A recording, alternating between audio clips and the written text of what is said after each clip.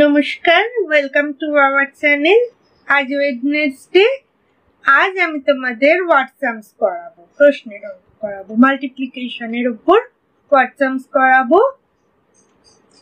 ছোট ছোট ডিজিটের একটু বড় বড় ডিজিটের তোমাদের স্টেটমেন্ট লিখে মাল্টিপ্লাই করতে হবে। কেমন?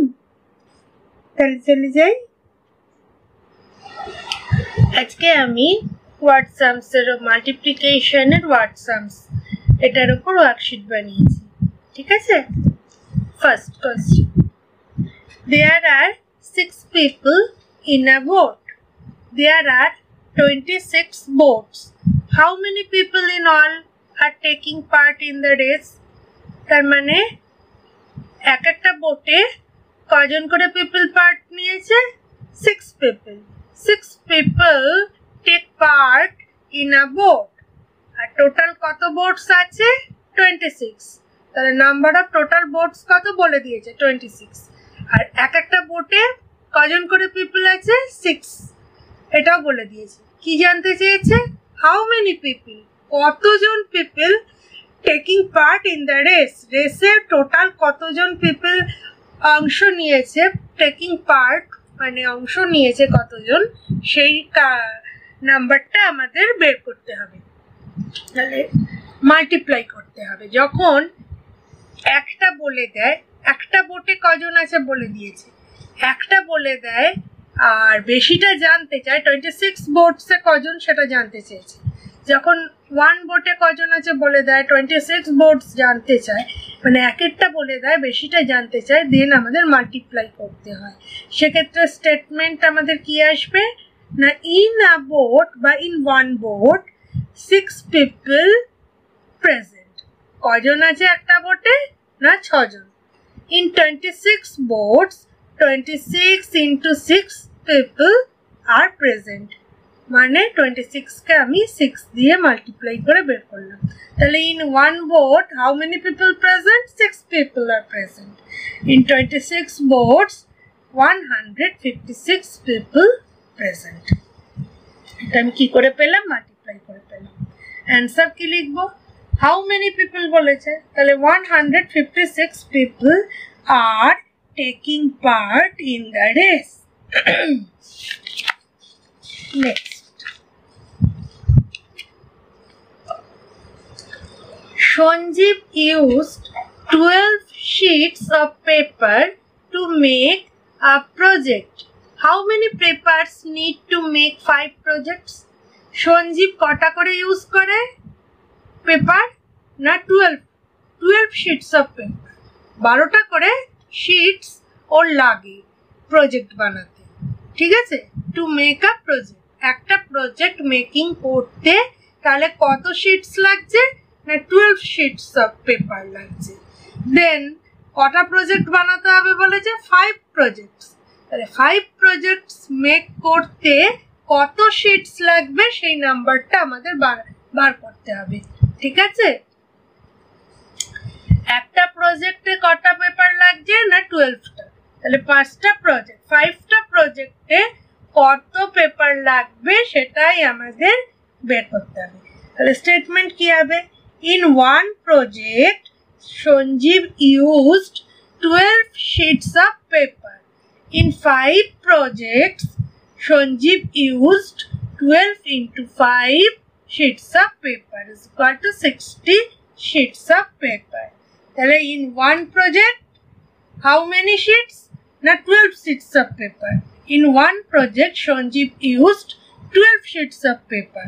কটা প্রজেক্ট জানতে চাইছে ফাইভটা তাহলে in five project Sanjeev used করে বেরোবো মাল্টিপ্লাই করে বের করব twelve into five sheets of paper তাহলে সিক্সটি তাহলে অ্যান্সার কি হবে লাস্ট লাইন ধরে অ্যান্সার লিখতে হয় হাউ মেনি পেপার্স কত বেরোলো সিক্সটি পেপার্স তাহলে লিখব sixty papers need to make five projects need to make five projects sixty papers need to make five projects পাঁচটা প্রজেক্ট করতে তাহলে সিক্সটি শিটস অফ পেপার লাগবে। কেমন?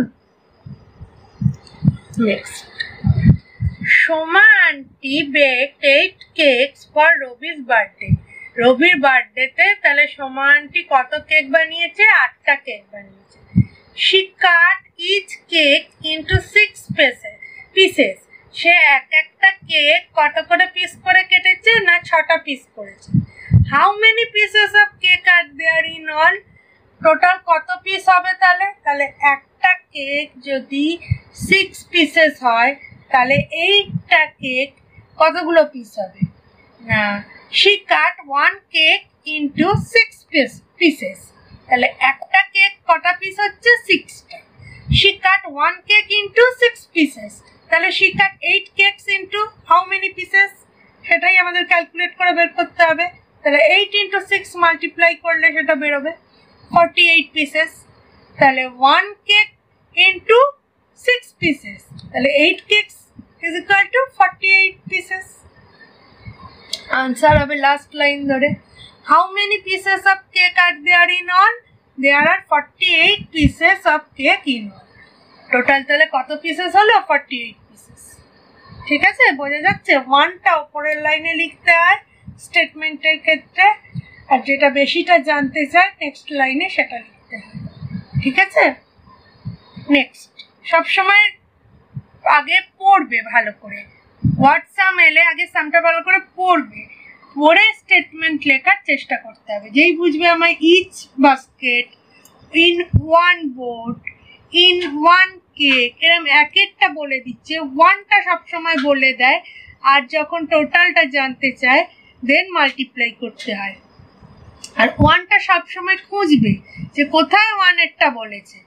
সামটা বারবার করে রিডিং পড়বে পড়লে দেখবে কোথায় ওয়ানেরটা বলে দিয়েছে। ওয়ানেরটা যেটা বলবে ফার্স্ট লাইনে আমার সেটাই লিখতে হবে। দেখো next there are fifteen baskets তাহলে টোটাল বাস্কেটস কত? Number of baskets fifteen each basket has six oranges তার মানে এক একটা বাস্কেটে কত করে অরেঞ্জ আছে? সিক্সটা করে। How many oranges are there in all মানে টোটাল কত অরেঞ্জেস আছে সেটা আমাদের ক্যালকুলেট করে বের করতে হবে।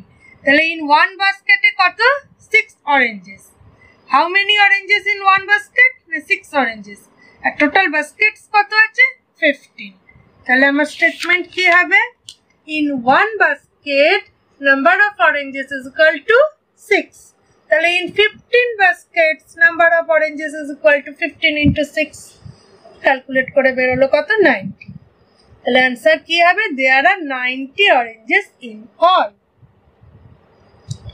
next দেখো, ভালোভাবে সামগুলো আমাদের রিডিং পড়তে হয়।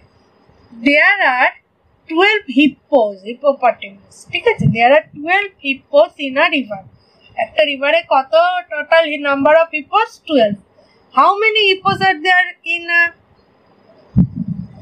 how many hippos are there in nine rivers ঠিক আছে? ওয়ানটা একটা রিভার ইন আর রিভারে কটা আছে number of hippos twelve in one river number of hippos is equal to twelve তাহলে in nine rivers number of hippos is equal to twelve into nine one hundred and eight ঠিক আছে?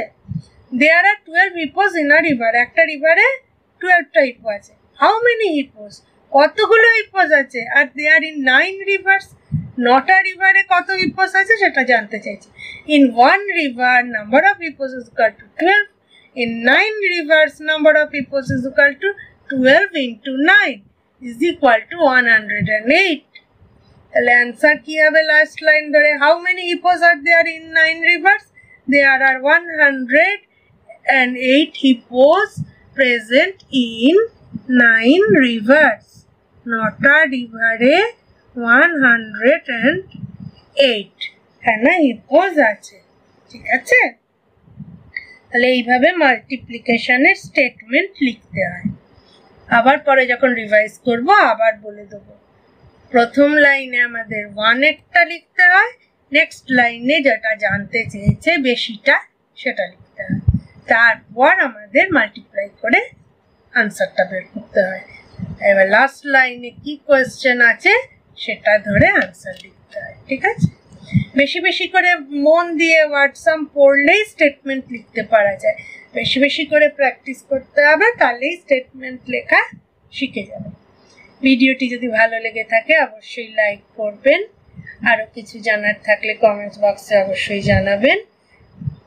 আর যারা ছোট বাচ্চারা আছে, যাদের উপযোগী ভিডিওটি, সেই সব গার্জিয়ানদের মধ্যে, সেই সব প্যারেন্টসদের মধ্যে শেয়ার করে দেবেন বেশি বেশি করে, তাহলে সকলের কাছে পৌঁছে যাবে আমার এই ভিডিও। আর আমাদের চ্যানেলটিকে অবশ্যই সাবস্ক্রাইব করবেন। পাশে থাকা বেল আইকনটায় অল নোটিফিকেশন অন করে দেবেন যাতে নতুন ভিডিও সবার আগে আপলোড